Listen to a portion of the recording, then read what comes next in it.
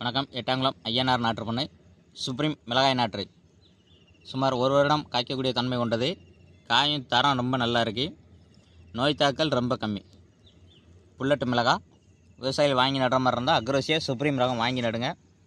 கண்டிப்பாக தரமான ரகமாக இருக்குது கொடுத்த ஃபுல்லாமே நல்லா என்கொயரி ரொம்ப நல்லாயிருக்கு நோய் தாக்கல் நல்லா தாங்குது.